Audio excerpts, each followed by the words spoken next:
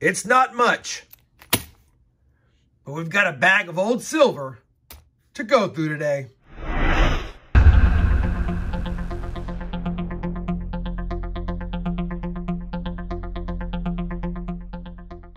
Hey everybody, it's Rob the Rob Finds Treasure, and I've got a $20.35 bag that has SLQs, some seated, some barbers, things like that. A lot of it's pretty much coal, but my dealer had a little bag of it. And he said, do you want it? And I was like, I'll take it. So I figured I'd go ahead and film it and see if we have anything good in it. Not quite sure. I do see a Mylar flip in there. I don't know why that's in there, but we're going to go ahead and go through it. I'll sort it by the denomination and by type first. And then we'll bring it back in and take a look and see what kind of goodies we have. Let me get it open. I'll bring it back in once it's sorted.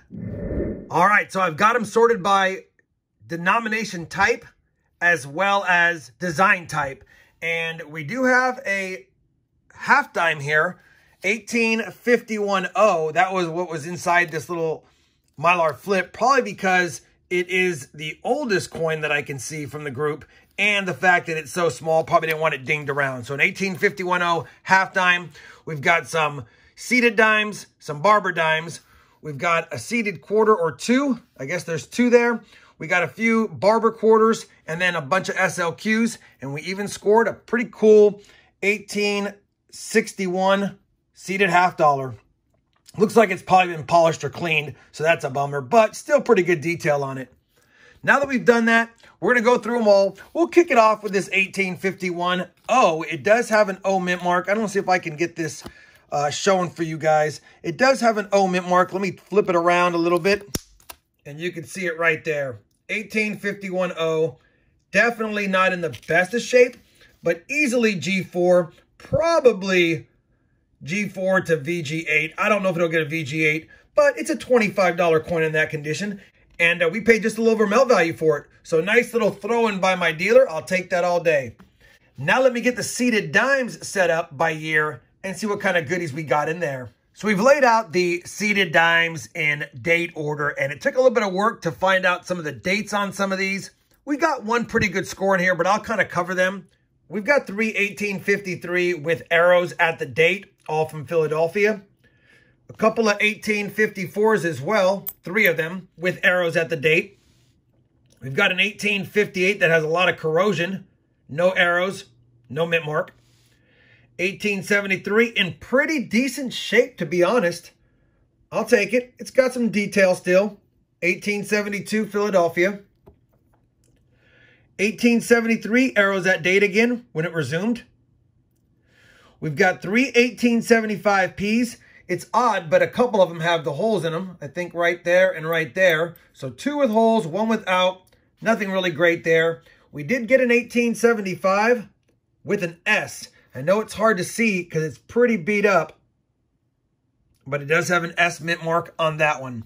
So I'll take it. We got one 1876 from Philadelphia. And believe it or not, we do have another 1876. I know it's almost impossible to see with the naked eye, but it's there. And we even have on the bottom a CC mint mark. And that's the one with the right C is the high C. I had submitted on Instagram or showed you guys a picture of an 1876 CC seated dime that had the DDO on it. This one doesn't. And even if it did, it's too hard to tell. It's pretty worn. But it is an 1876. You can barely, barely see it. Man, it's tough to see. But it is. We've got two 1877 Phillies, an 1886 Philly, a pretty nice 1887.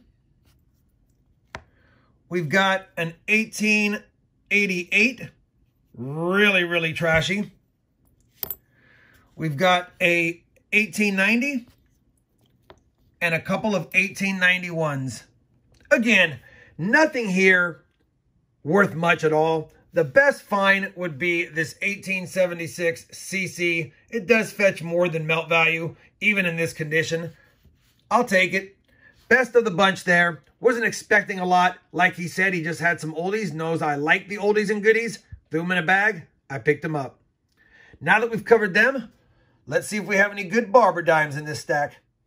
I've now laid out all the Barber dimes. Nothing spectacular here. I already checked them against my album, and none of them will upgrade, and we don't have anything that's key or semi-key. But we have an 1897, 1898, some 1901s, a 1902, handful of 05s, 07.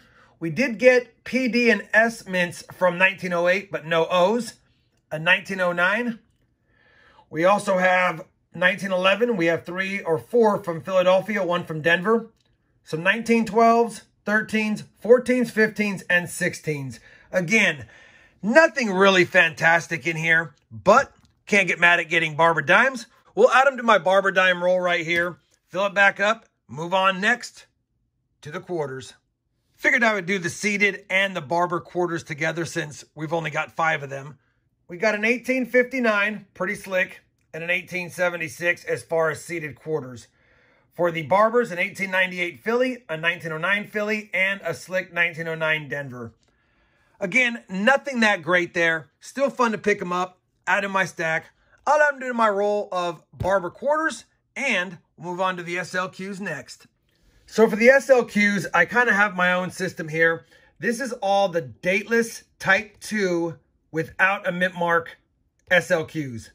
These are the dateless Type 2 SLQs with the mint mark. You can see the mint mark just adjacent to the foot. That's a Denver mint mark on that one, for example. All of these I will call later to see if I can catch any glimpse of a date on, but at first glance, I could not.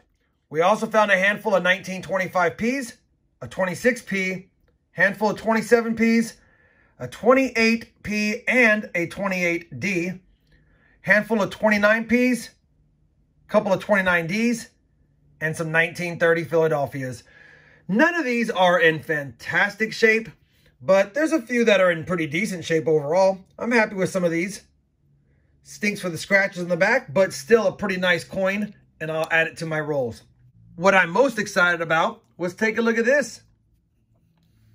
We found a Type 1 SLQ, no stars under the eagle, we can see the tail of the ponytail is facing up towards B. The hand is in Liberty. So we know it's a type 1 based on that. We don't have a date, but we can date it very easily because if you look closely, there's an S mint mark. So we know without a doubt, this is a 1917 S Type 1 SLQ. A little bit better date, and in this condition, 30 to $40 coin that we picked up for less than five bucks. That's the find of the SLQs and probably the find of the hunt other than the 1876 seated dime minted in Carson City, which was a cool find as well. I guess since I have it here, I'll show you. We've got kind of a polished 1861 common date seated half dollar, but it's a beauty. And I might even be able to add it in my typeset. We'll have to take a look. I posted a picture of this other pickup on my Instagram. But for those that missed it, here's an 1876 CC, just like the one we found. It even has on the reverse the high C, as you can see on the right. But more importantly, it is a DDO FS 102. And when I zoom in, you can see the doubling on Of America. It's a beauty. Happy to add it to my collection. Very cool. Hopefully you guys enjoyed this junk silver or constitutional silver purchase and hunt with me. We found a couple of goodies, which is why I love hunting the junk bins. If you did, I'd appreciate a thumbs up. And as always, everyone, happy hunting. And thanks for watching.